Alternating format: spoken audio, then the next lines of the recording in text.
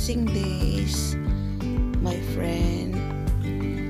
I'm going to show you my tulips flowers in the garden.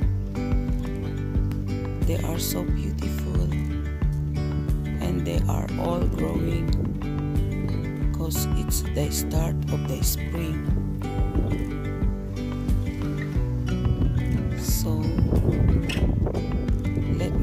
Share to you how I am going to make a very beautiful vase uh, flower from my garden to be used as one of best flower vase in my kitchen so that it will keeps me inspiring keeps me happy it keep me jolly. It keeps me so so so relaxed while doing the uh, household chores. So let's begin